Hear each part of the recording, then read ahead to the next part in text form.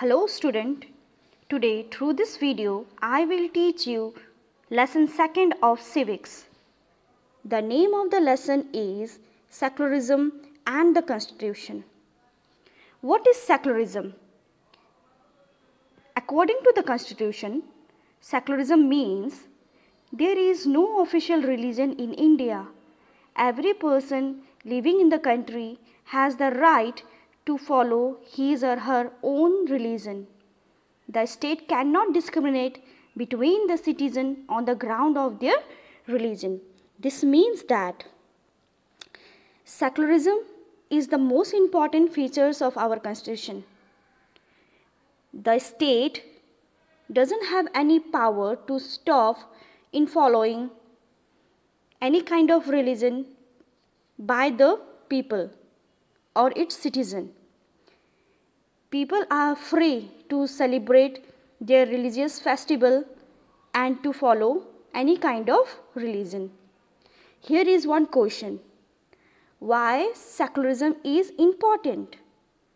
Or why we need secularism? Answer India has always been a land of diversities. Diversities in the sense diverse in language, script, physical features, music, dance form, painting, religious think, religion, reason, and many other things. Okay? To maintain uniformity among the citizens of India, we need secularism and to flourish the identity of one religion we need secularism in India. Now, secularism and the constitution. The term secularism was added to the preamble of the country by the 47th constitutional amendment in 1976. In this para, we can find during the independence time, we don't have the term secularism. But in 1976, Indian constitutional framer, they amend our constitution and that amendment it's comes under 42nd amend, constitutional amendment act in that act they add a new term that is secularism. Even the preamble described India as a sovereign, secular, socialist, democratic and republic country. Now let's see some features of secularism. The most important feature of secularism is India has no official religion. It means India does not promote any kind of religion. Second, the state is separate from religion. It means that the state does not have any power to interfere with the religious practice of its citizen. Every person living in the country has the right to follow his or her own religion and celebrate his or her own religious festival. Third, during the religious procession or celebration, if it lead to disturb the law and order of our country, then the police have the right to intervene and impose some restriction on them. Fourth point, the government does not discriminate among people on the basis of their religion. That means the state cannot consider the religion of an individual during admission to educational institution or recruitments in government service. The most important feature we, if we find in our constitution is the right to freedom of religion. It is one of the most important feature. In this feature, all the citizens of our country guaranteed that they are free to follow any kind of religion. Now student, here is a question. What is a fundamental rights? Fundamental rights means our basic rights. For example, to lead our life with dignity, we need some rights and these rights has been given by our constitution and these rights it's also called fundamental rights. There are six basic fundamental rights. These are right to equality comes under article 14 to 18 right to freedom article 19 to 22 right against exploitation article 23 to 24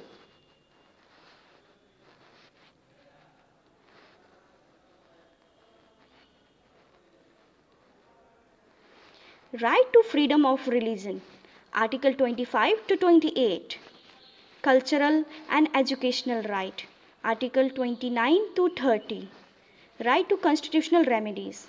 Article 32 to 35 now I am going to tell you about right to uh, equality in detail. Right to equality means that the country gets the equal treatment. That means every citizen of the country will get the equal treatment without any discrimination on the basis of their caste, creed, sex, race or religion. They also treat equally before the law and they will get the equal protection by the law of the country. Even the state they make some special provision for upliftment of certain groups of society. These groups are scheduled caste, scheduled tribe and backward classes. Now let's talk about right to freedom. Right to freedom as we know that we are free to do everything. Okay. Everything doesn't mean that we are free to do whatever we want to do. Okay. There is some limitation too. Let's talk about what are there in right to freedom. First is freedom of speech and expression. Freedom to form association or unions even we can move freely throughout the country. We can reside or settle in any part of our country. And we are free to practice any kind of profession or carry on any occupation, trade or business. Now let's deal with right against exploitation.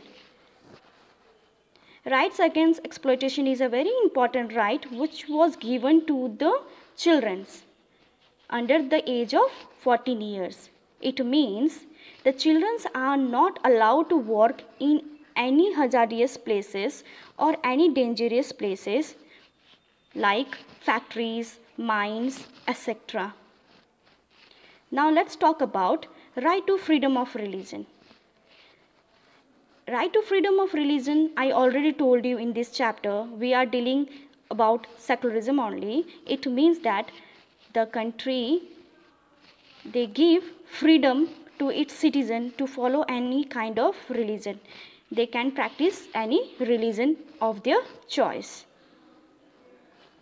Even the state have some power to impose some restriction on the following grounds for example public order, morality, and health.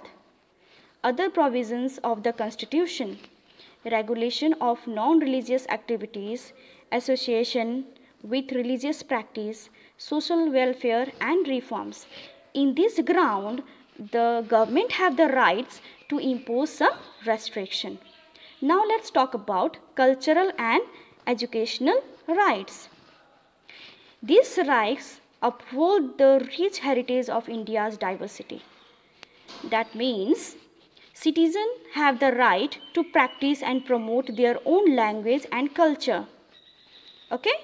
Even in the institutional, that means educational institution, have the right to give or to take admission, okay, without any discrimination.